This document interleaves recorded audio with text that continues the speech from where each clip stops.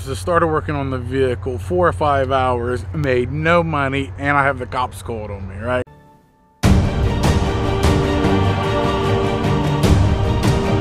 Hey guys, welcome back to Semper Fi Mechanic. My name's Thomas, and today's video is just going to be a little bit different.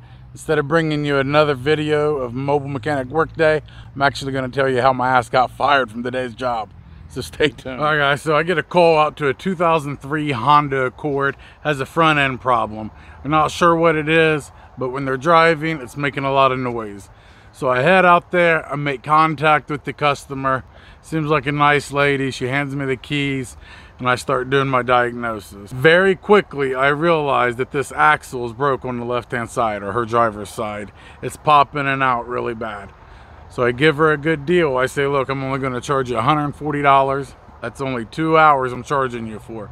If it takes three or four, which it usually doesn't, I'm not gonna charge you for that. So she's like, good, let's go. How do we get the part? I said, all right, let's ride together. We'll go to AutoZone. I'll use my military discount where I'm retired from the Marine Corps and I'll save you a little bit of money. Now we get back to our house, I start doing the job, removing the axle from the Honda Accord. Now most customers go inside or they'll watch for a few minutes, then they'll go inside.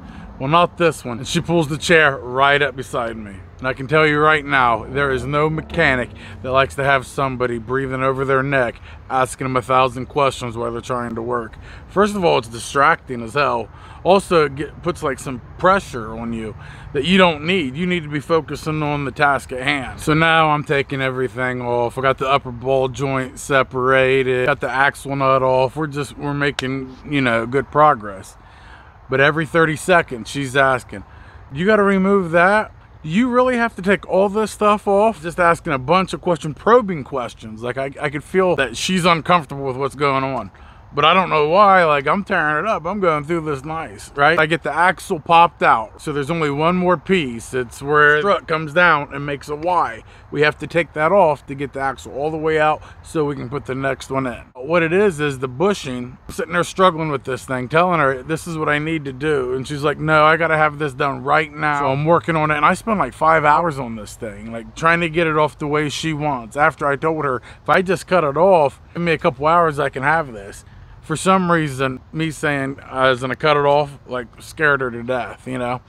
So after working five hours, she starts to say, well, maybe I'll just call AAA. I'm like, AAA? What are you talking about?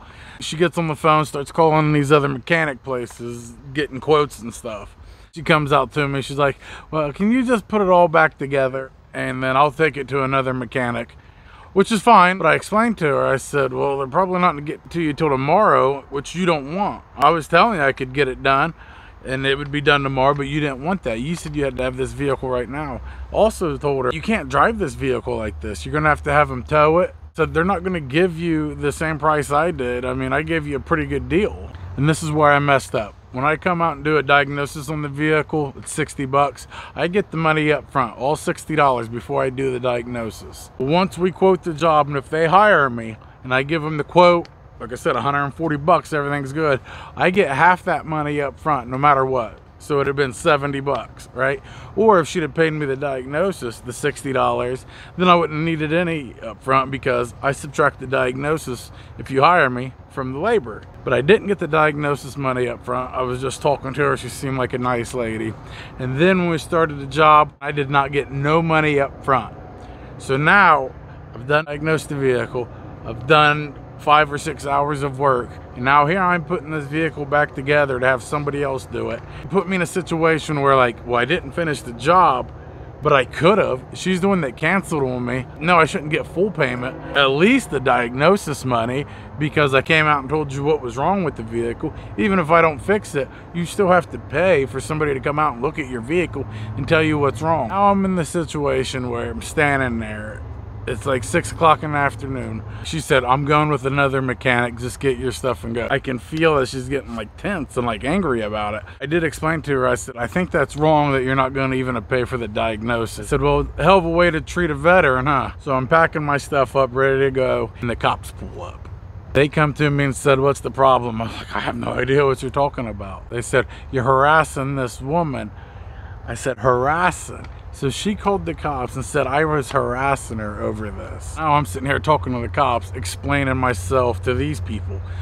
So now let's recap the day. Came out, diagnosis, started working on the vehicle, four or five hours, made no money, and I have the cops called on me, right? So I didn't get paid for her job or the diagnosis. Also, every hour that I'm working, I charge $70. So, and I have 20 or 30 calls a day. So if I wasn't working on that job, I would have had three other jobs. What's the purpose of me telling you this? Always, always get half your labor up front. If the customer does not like that, then do not do the job because I've been in too many situations where they won't pay afterwards.